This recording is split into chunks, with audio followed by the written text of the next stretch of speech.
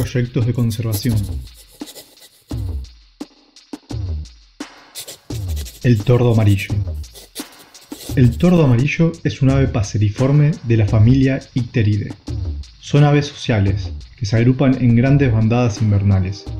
Su alimentación es omnívora, aunque tienen preferencia por los insectos, y están fuertemente asociados a los pastizales, y su supervivencia está ligada a ellos. Es conocido para Brasil, el sudeste de Paraguay, la mayor parte de Uruguay y el nordeste de Argentina. En la Argentina, hace 100 años atrás podía encontrarse desde el sur de la provincia de Misiones hasta la provincia de Buenos Aires. Sin embargo, en 1997 se estimaba que la población total se había reducido drásticamente y rondaba en tan solo unos 1.500 individuos. En la actualidad la población continúa en disminución, se estima que quedan entre 600 y 1000 individuos. Es por ello que en el año 2019 la especie ha sido categorizada como en peligro de extinción a escala global y en peligro crítico a escala nacional. Y en Entre Ríos fue declarada como un monumento natural, lo que le agrega un grado extra de protección. En el año 2015, Aves Argentinas y el Laboratorio de Biología de Conservación del Litoral, perteneciente al CONICET, organizaron un proyecto de conservación del tordo amarillo. Junto a otras instituciones y voluntarios, trabajaron en diferentes estrategias para aumentar el éxito reproductivo de la especie. Los objetivos del proyecto son varios.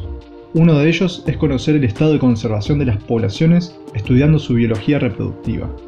Además, es importante saber el estado actual de su hábitat e identificar sus principales amenazas, para así poder aumentar el éxito de la reproducción protegiendo las colonias reproductivas.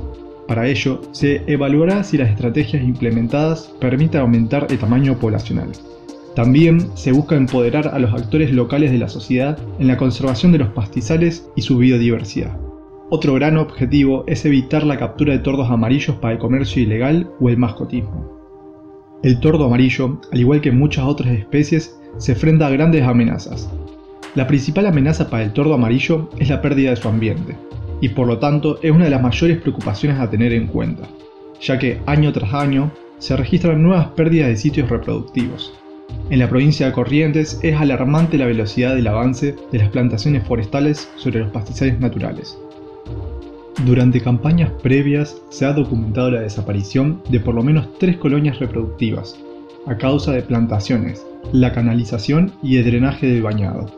Sumado a eso, tiene que lidiar con el parasitismo, que, a pesar de tratarse de una causa eventualmente natural, el impacto se ve intensificado por las actividades agrícolas y ganaderas. Estas favorecen a la expansión y el aumento poblacional de los tordos renegridos.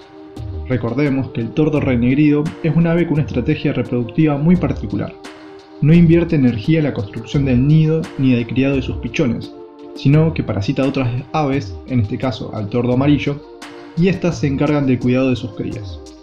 Esto genera un gran problema para especies con bajo número poblacional. Durante esta temporada, la del 2019, en la provincia de Entre Ríos, donde la actividad agrícola se encuentra fuertemente establecida, el 67% de los nidos de tordo amarillo estaban parasitados por el tordo renegrido. Asimismo, el parasitismo constituyó la principal causa de abandono de los nidos. Por otro lado, en la provincia de Corrientes se registró el parasitismo causado por larvas de mosca. Estas larvas se alojan debajo de la piel de los pichones, pudiendo impactar de forma negativa en el desarrollo de la nidada, ya que afecta a los tejidos y órganos de los pichones. El 13% de los nidos tuvieron pichones que estaban parasitados. Como cualquier animal silvestre, el tordo amarillo tiene que enfrentarse a depredadores naturales, que, como dijimos anteriormente, a pesar de tratarse de causas eventualmente naturales, es altamente preocupante ya que en poblaciones pequeñas con bajo éxito reproductivo y en sitios de reproducción concentrados como lo son las colonias, los depredadores naturales tienen mayor impacto. Gracias al trabajo realizado con cámaras trampas, se ha podido identificar especies nativas que depredan sobre los pichones de tordo amarillo. Entre ellos podemos destacar el zorro de las pampas, el lagarto vero, serpientes, aves rapaces y mamíferos como el aguarapo y la comadreja colorada. Otra problemática son las especies exóticas invasoras, como el jabalí que acarrea grandes consecuencias en el medio ambiente. Los nidos de tordo amarillo se vieron afectados cuando fueron atropellados y destruidos por los mismos jabalíes. Además, el tordo tiene que enfrentarse al tráfico de fauna, se registraron varios eventos de trampeo en colonias reproductivas, extrayendo padres para la comercialización como ave de jaula. Si esto parece poco, hay otra problemática, los agroquímicos. Se ha registrado el uso de agroquímicos en zonas de nidificación. Esto podría resultar en una potencial amenaza para la especie, ya que los nidos se establecen en campos productivos, muchos de los cuales utilizan herbicidas e insecticidas.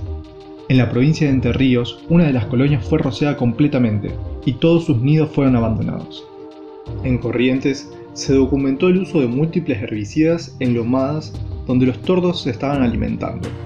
Su efecto aún se desconoce. Es por ello que resulta de gran importancia comenzar a estudiar cómo influyen estos químicos en la dinámica reproductiva de estas aves.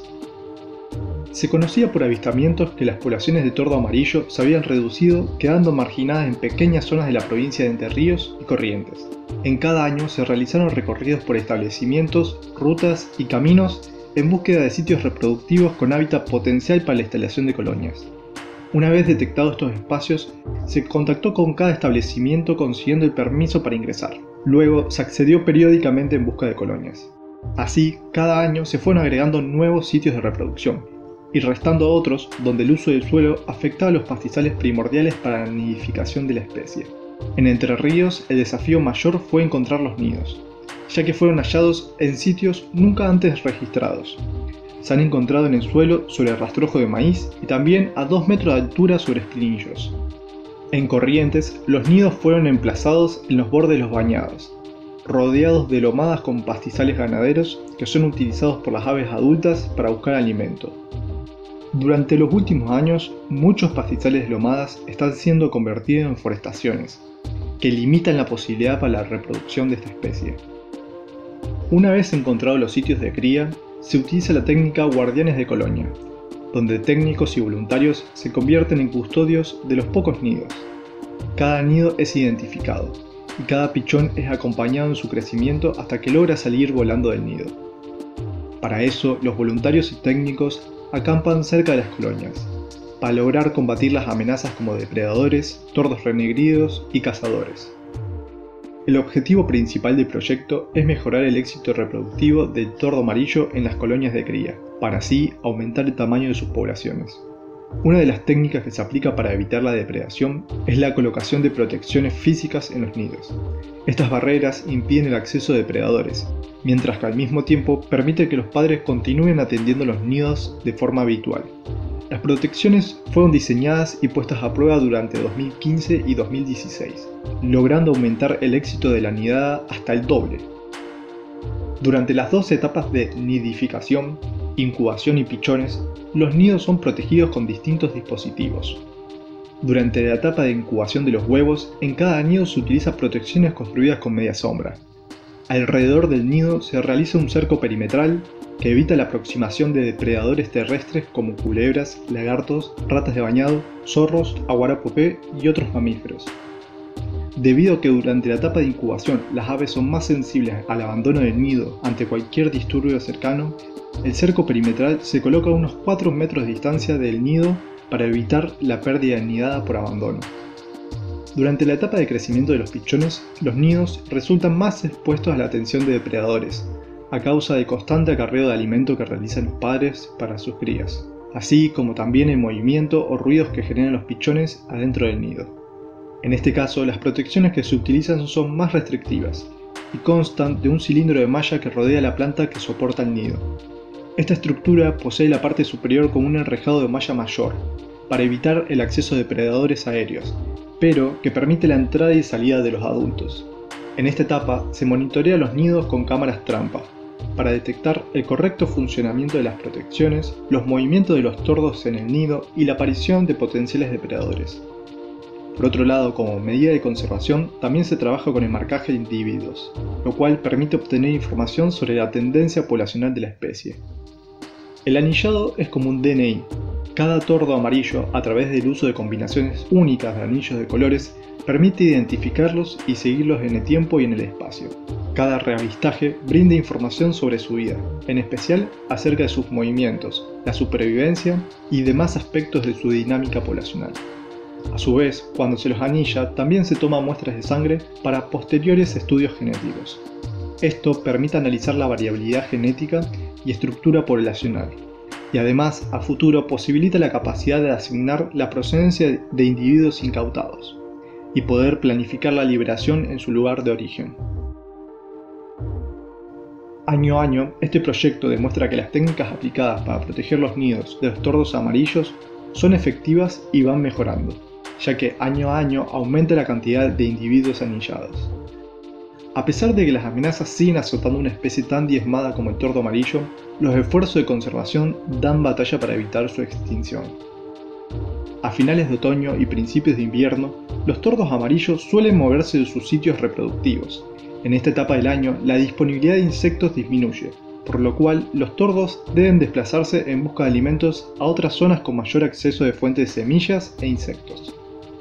Los relegamientos invernales son interesantes para profundizar el monitoreo de las poblaciones de tordo amarillo, ya que, si bien es importante identificar los sitios reproductivos, también es esencial conocer cuáles zonas ocupan durante el invierno, cuáles son sus requerimientos ambientales y cuáles amenazas potenciales o reales los afectan durante esta época se recorre la provincia de Corrientes y Entre Ríos, y se convoca a los clubes de observadores de aves locales, aficionados, guías y amantes de la naturaleza para participar de la búsqueda. En la provincia de Corrientes se lograron contabilizar un total de 163 individuos, y en Entre Ríos se lograron avistar 333 individuos. Volver a ver individuos anillados permite conocer los lugares por donde se desplazan y estimar la supervivencia de los juveniles, es decir, cuánto de los pichones anillados logran sobrevivir para convertirse en adultos. Si bien las bandadas invernales son bastante esquivas, se pudieron identificar 5 individuos anillados.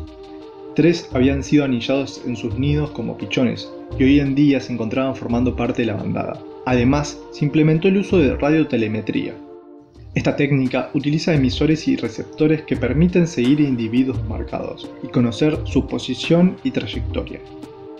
Ayuda a tomar datos del ambiente y la estructura de la vegetación, lo cual permite conocer los requerimientos del tordo amarillo durante su periodo post-reproductivo. El proyecto Tordo Amarillo es posible gracias al esfuerzo de muchas personas e instituciones que se suman año tras año a participar de diferentes acciones. Con el esfuerzo de todos, el tordo amarillo surcará los cielos argentinos por mucho tiempo más.